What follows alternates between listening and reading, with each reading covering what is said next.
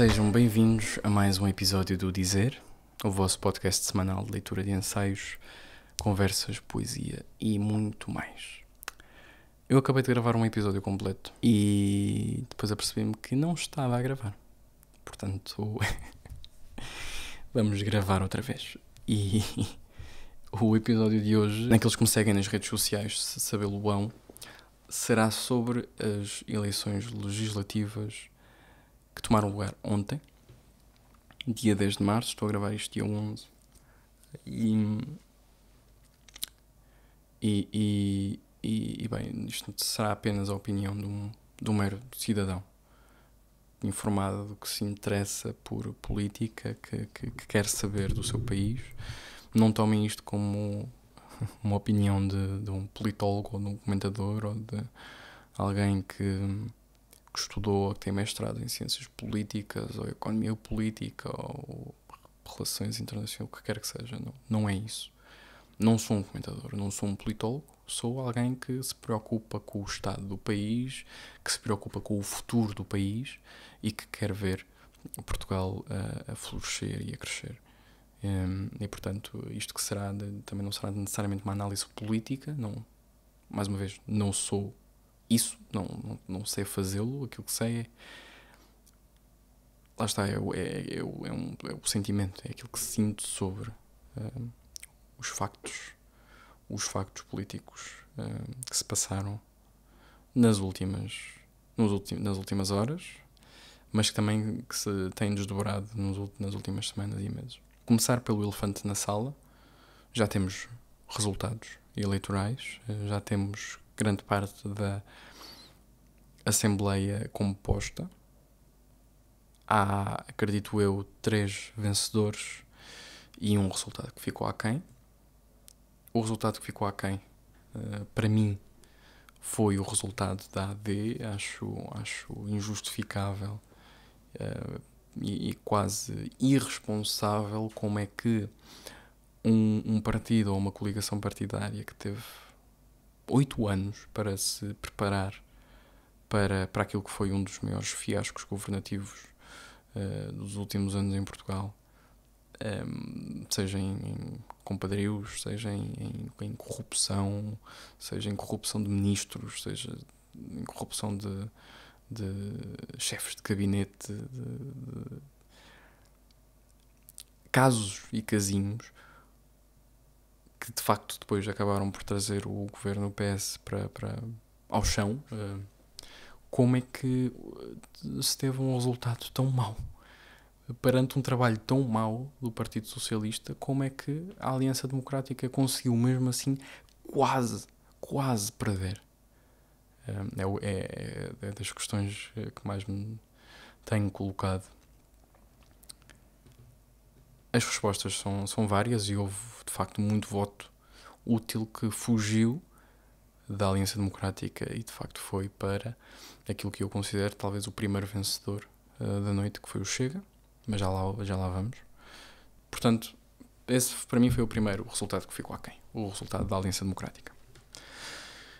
Em segundo, quem ganhou, os três que ganharam, em primeiro o LIVRE, o LIVRE conseguiu eleger quatro deputados, e acho, uh, não, quatro, três, seis, quatro, três, quatro ou três, não me lembro bem agora, agora não, não tenho bem ciente, mas mas eu, eu gosto, gosto muito, não é, não é gosto muito do Rui Tavares, eu não gosto da pessoa política do Rui Tavares, não, não coaduno com, com, com aquilo que ele de facto acredita ou, ou, ou pensa que, que, conseguirá implementar ou quer de todo implementar.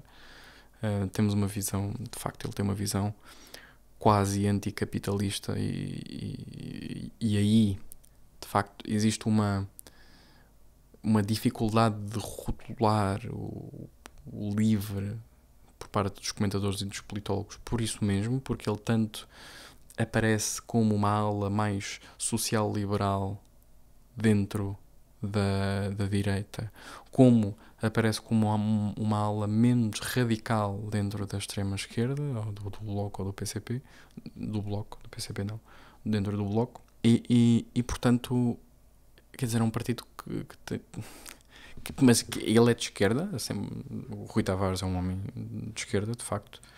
Um, não há, não há dúvidas, não há dúvidas disso mas, mas tenho um grande respeito pela pessoa do Rui Tavares. Não pela pessoa política, mas pela pessoa do Rui Tavares. É um homem inteligentíssimo. De facto, eleva ali o estatuto intelectual da Assembleia da República. Um, uh, eleva o estatuto intelectual da Assembleia da República, ponto final, parágrafo. Não é um grunho, mas também, se aqui o, o parâmetro é ser, ser grunho ou se não ser grunho, uh, digamos, temos os estándares um bocadinho baixos para aquilo que esperamos dos nossos decisores políticos. Mas dito isto, parabéns ao Rui Tavares, parabéns também ao Partido Socialista, porque eu não acredito que o Pedro Nuno Santos quisesse de facto governar, ia governar com condições também quase ingovernáveis, não iria ter maioria absoluta, nunca, uh, mesmo coligando a esquerda inteira, Livre, PAN, Bloco de Esquerda e CDU, não teria maioria absoluta e, portanto, tornaria a, a governabilidade do país quase impossível. E, de facto, aquilo que ele fez ontem foi um ato de. foi um grande ato eleitoral. Uh, Pedro Nuno Santos teve um dos melhores discursos da noite. E um dos discursos mais dignos também. E disse várias coisas sendo que, que uma, há uma delas que se destaca e, e, e destaca-se colocando-se exatamente em contraponto com aquilo que depois vemos ser a atitude popular das pessoas, principalmente da esquerda, que é de repente um milhão e cem mil pessoas serem fascistas ou racistas. Facto, é isto que nós neste momento estamos a ver repetidamente nas redes sociais e nos, nos órgãos de comunicação social, de que, de que 1 milhão e 100 mil pessoas que votaram no Chega são 1 milhão e 100 mil pessoas que, que são fascistas e que são racistas e que são homofóbicas, e de facto o Pedro Nuno Santos veio aqui explicar que não, não existe 1 milhão e 100 mil portugueses racistas e xenófobos ou fascistas. Aquilo que existe é 1 milhão e 100 mil portugueses que com problemas que não vêm ser respondidos pelos, pelo grande centro democrático eh, em Portugal, o PS ou o PSD. E, portanto, fogem para aquilo que é, e como disse o Ricardo Costa, também ontem na SIC Notícias, o irmão do António Costa, fogem para aquilo que é o melhor político dos três. Entre Pedro Nuno Santos, Montenegro e André Ventura, André Ventura é de longe o melhor político.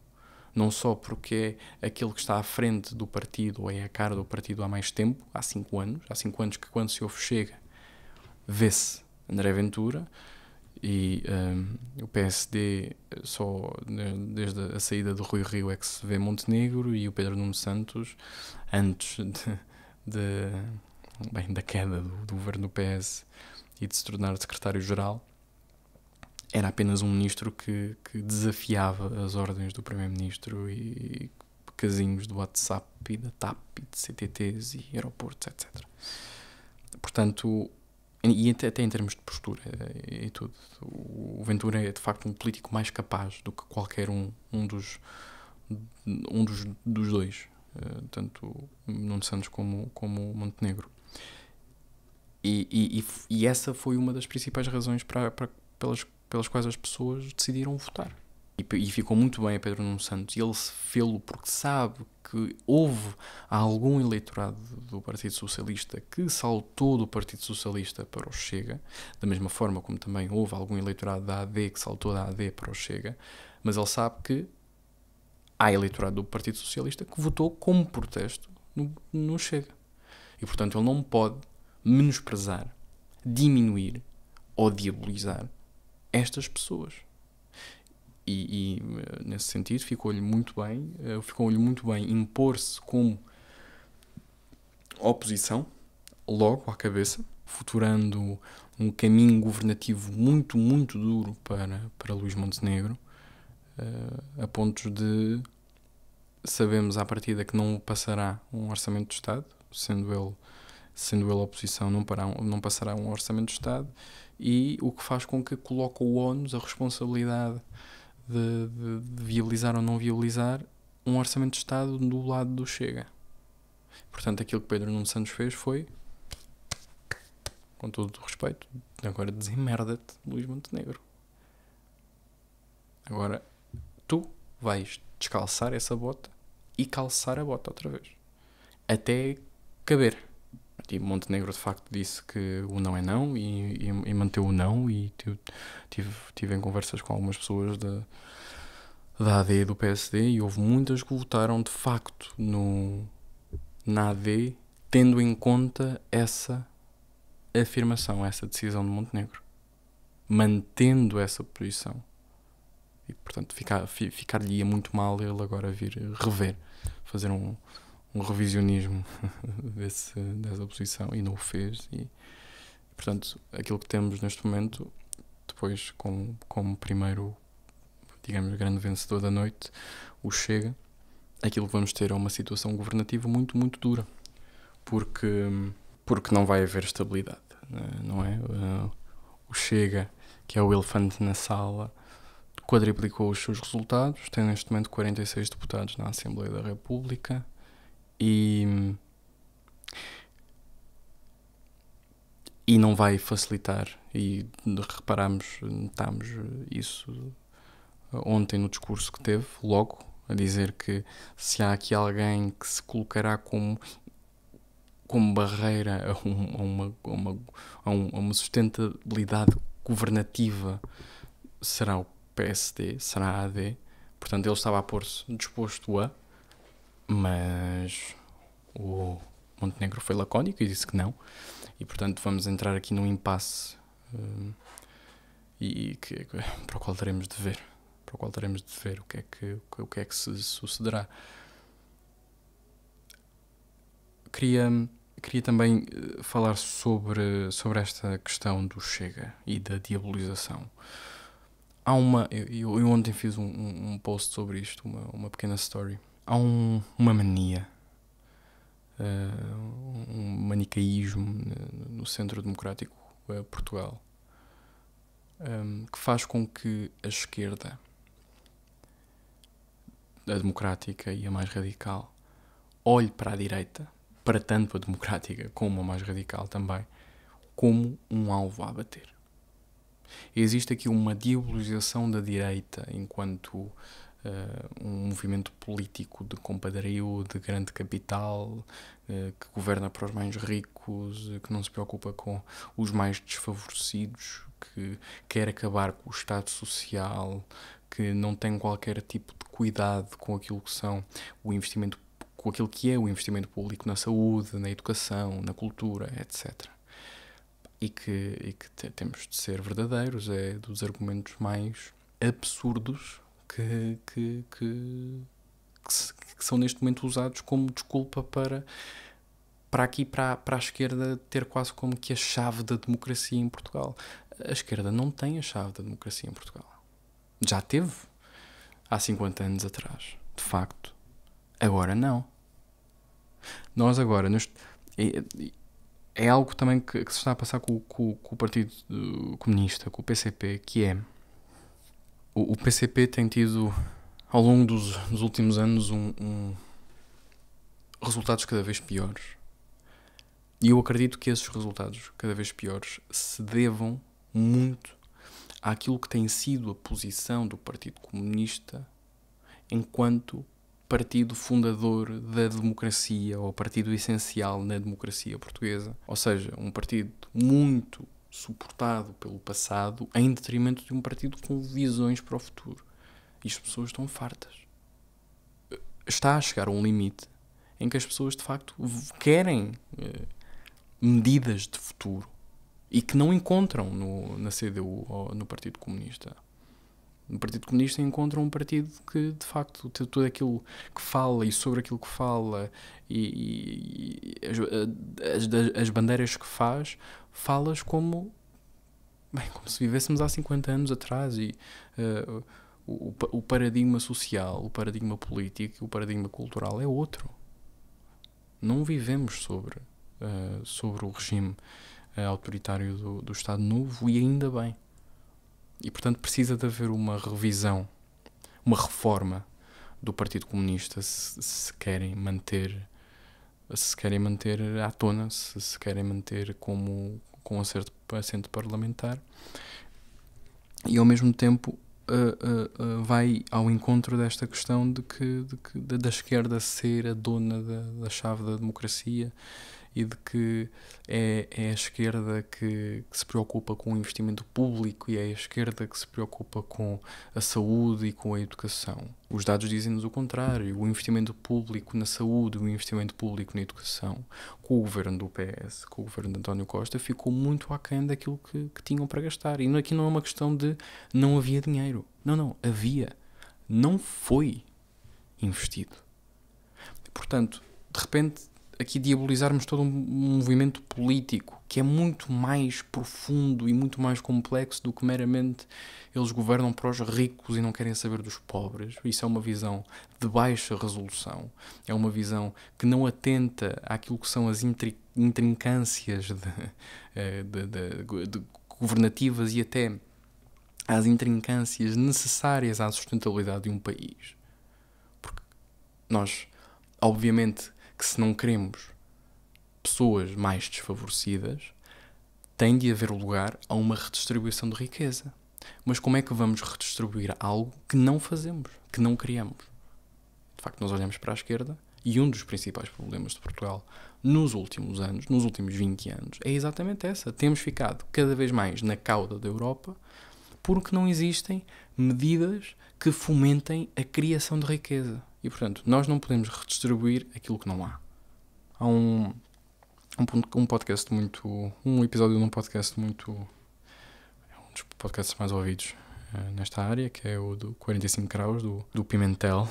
Uh, depois até fez um livro que se chama Onde é que um liberal social uh, vota nestas eleições. E, e de facto eu, eu, eu, eu também aqueles que me conhecem ou que, ou que, já, já ouviram, já me ouviram noutras ocasiões ou noutros, noutros, noutras entrevistas ou noutras conversas uh, sabem que a minha posição política não é necessariamente anónima. Eu sou alguém que não encontra, não, não me encontro representado em nenhum partido político com assento parlamentar ou mesmo sem assento parlamentar.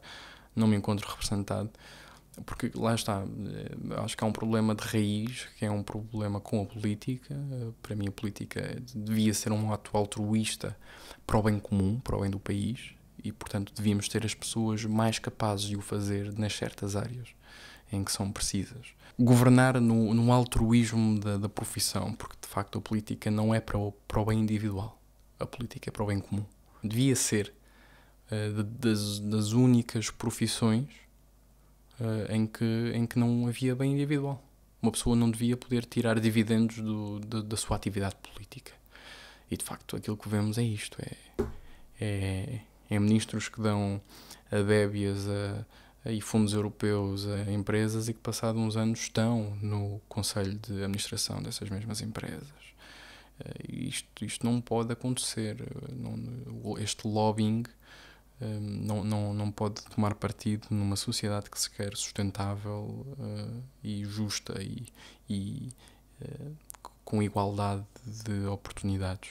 Que é algo que no podcast do 45 Graus do Pimentel também se fala muito, que é um, eu tenho esta posição também, talvez, uma posição de, de, de liberal social, em que, em que acredito que uh, a sustentabilidade de um, de um país reside na individualidade soberana do, do, do, do, cidadão. O cidadão é que sabe, ou, que, ou, ou, é o cidadão que tem a melhor capacidade de decidir aquilo que quer fazer com o seu dinheiro e que, por sua vez, depois também decide em prol do bem comum.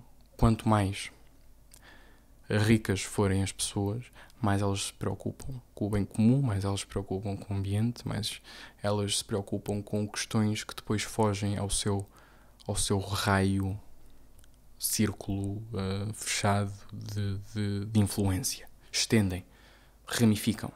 E agora, se calhar, para finalizar, esta ideia de que há um milhão e cem mil pessoas que são fascistas e racistas e homofóbicas em Portugal porque votaram no Chega. mais uma vez uma visão de baixa resolução, de repente acharmos que 1 milhão e 100 mil pessoas são racistas e fascistas e xenófobas e, portanto, temos a perfeita desculpa para não ter de nos haver com, com essas pessoas. O problema é que estamos a dizer que não temos de nos haver com 20% da população portuguesa. 20% da população portuguesa são os vossos pais e os vossos irmãos. São as pessoas que vos atendem nas caixas de supermercado, são os vossos professores da faculdade ou da escola secundária. Acharmos que as preocupações e as reivindicações dessas pessoas não são justas ou dignas de até só serem ouvidas só vai fazer com que os 20, só, só vai fazer com que os 20% cresçam. E portanto o meu aviso fica se calhar para, para aí, fica para um para um cuidado maior naquilo que é o discurso público à volta de, de uma indignação que é justa, uh, de facto, uh, mas, mas que essa indignação não sirva de desculpa para a diabolização de, mil, de 1 um milhão e 100 mil pessoas. Porque há 1 um milhão e 100 muitas, de facto, de voto de protesto. Alguns milhares são, de facto, saudosistas de Salazar e, e digamos, uma, uma pequena escória daquilo que é a sociedade portuguesa. Mas há muitas pessoas que são pessoas como tu e eu, que só querem ver as, os seus problemas ouvidos só querem saber que existe alguém lá que de facto que se preocupa com aquilo. Seja aquilo o que aquilo for. Um milhão e cem mil pessoas não dá para ignorar. Bem, não temos ainda mais informações. O Presidente da República falará ao, com cada partido a partir da manhã e, e vamos esperar para ver o que é que acontece. Eu vou acabar este episódio com um poema do Vasco Graça Moura que eu acredito que possa servir como um, uma resposta à, à questão mais premente do dia, que é o que vamos fazer amanhã. Chama-se Lamento por Diotima. O que vamos fazer amanhã, neste caso de amor desesperado? ouvir música romântica ou trepar pelas paredes acima. Amarfanhar-nos numa cadeira ou ficar fixamente diante de um copo de vinho ou de uma ravina. O que vamos fazer amanhã que não seja um ajuste de contas? O que vamos fazer amanhã do que mais se sonhou ou morreu? Numa esquina, talvez te atropelem. Num relevado, talvez me fuzilem. O teu corpo talvez seja meu mas que vamos fazer amanhã entre as árvores e a solidão. Se chegaram até aqui, quero agradecer-vos e falar-vos sobre a minha página do Patreon, a forma mais fácil e imediata de apoiar este podcast, 100% independente, One Man Show. Na página do Patreon vão ter acesso a saber quem são os convidados das conversas e a colocar-lhes questões de antemão para depois serem respondidas em vídeos exclusivos para o Patreon. Vão ter acesso ao audiobook do meu livro, Ela Metafisicamente do Outro Mundo, que depois poderão ouvir no Spotify e ainda acesso a uma mescla de outro conteúdo um, eh, e, e, outras dinâmicas, nomeadamente de espetáculos ao vivo, um, eh, completos, painéis de debate, painéis de conversas, etc patreon.com barra diagonal poeta da cidade ou então podem encontrar todas as informações na descrição do podcast. Vemo-nos para a semana e boa sorte. Até para a semana.